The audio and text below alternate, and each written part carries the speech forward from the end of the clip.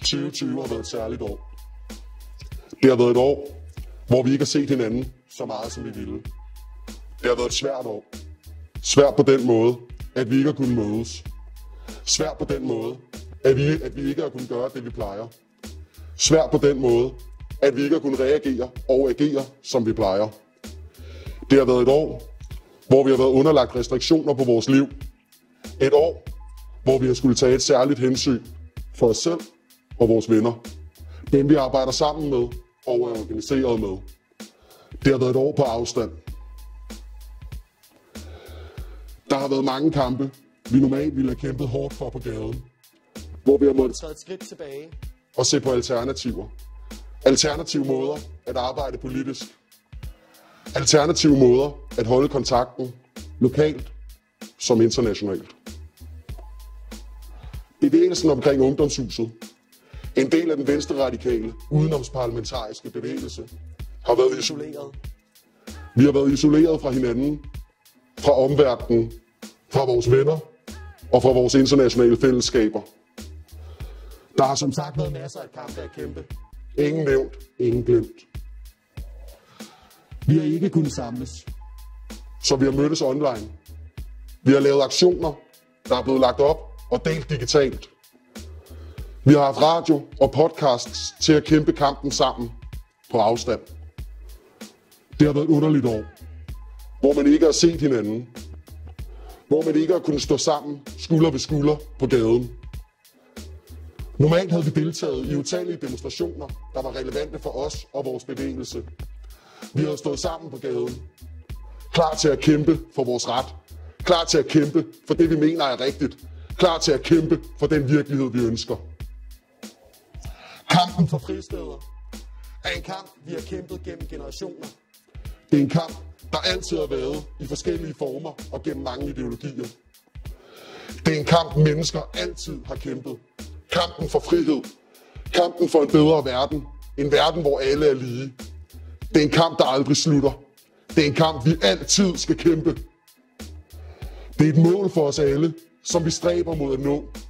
Der vil altid komme nye kampe, der skal kæmpes. Og vi vil altid huske de kampe, vi har kæmpet.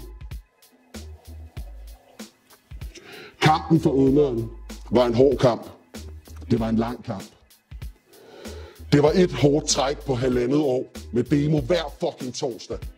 Vi stod samlet uge efter uge og krævede vores ret til et ungdomshus. Vi stod samlet hver torsdag, hvor vi gik gennem Københavns gader med taler og koncerter fra internationale navne som Manu Chao og lokale navne som Sort Stue. Der var riots og folkekøkken, cirkus og husbesættelser, 24 timers demonstration og demonstration på Roskilde Festivalen. Store masseaktioner. København stod i flammer 1. marts, og vores hjerter brænder stadig. Vi kæmpede med alle midler. Den 1. juli endte det ud i, at vi i 2008 fik der til at være 61 i Københavns Nordvestkvarter. Det er ikke Jagtvej 69, men det er vores. Og herfra kæmper vi videre. Kampen for flere fristeder ender aldrig. Vi vil altid kæmpe videre. Og der vil aldrig være nok fristeder, før alle steder er frie steder. På Dateavej har vi over de sidste snart 13 år opbygget et ungdomshus i København. Vi har folkekøkken hver torsdag, flere koncerter hver uge, øvelokaler, kreaværksted og en lækker bogcafé. Det er en grobund for den venstre radikale bevægelse. Det er et sted, vi kan samles og være fælles om vores tanker om en bedre verden. Det er et sted, vi arbejder med at gøre sikkert for alle. Det er et sted, alle skal kunne være, som de er. Det er ikke perfekt, men det er et sted, hvor vi prøver. Prøver at skabe et andet samfund. Et sted, som hele verden skal lære fra. Et sted, hvor vi går foran og viser, hvordan vi, og viser, hvordan vi mener, verden skal være. Ungdomshuset udvikler sig hele tiden. Det er et sted, hvor vi lærer og øver os på det samfund, vi drømmer om. Det er det sted, vi opbygger det samfund, vi ønsker. Det er her, vi prøver at skabe et frirum, hvor alle kan føle sig trygge. Som sagt tidligere, Så har det været et langt og mærkeligt år. hvor vi ikke har kunnet gøre, som vi plejer. Det har været et år, hvor vi har været ensomme og været afskåret fra vores kammerater. Det er vigtigt, at vi fortsætter med at række ud til hinanden. At vi er der for hinanden. At vi husker, at vi er mange, selvom vi ikke har set hinanden så meget, som vi plejer. Det er vigtigt, at vi lige så snart det er sikkert mødes og er der for hinanden. Viser, at vi stadig står sammen. Viser, at vi er mange. Viser, at vi stadig er her. Viser, at vi holder af hinanden. Det har været et år, hvor vi ikke har kunnet gøre, så, hvor vi ikke har kunnet gøre så meget. Og det har smittet af på vores engagement. Og det er helt forståeligt. Det er det, der sker, når vi får følelsen af, at der ikke er noget at gøre. Vi har lidt og lider stadig af afmagt. Det er følelsen af, at der ikke er noget at stille op. Og hvis der er noget, der er vigtigt, når den her pandemi er kommet under kontrol, så er det, at vi samles og viser os selv og resten af verden, at vi stadig er her. At vi stadig står sammen. At vi stadig er klar. Klar til at handle. Klar til at sige fra. Klar til at kæmpe for vores tanker, for vores ideologier, for vores syn på, hvordan samfundet skal være.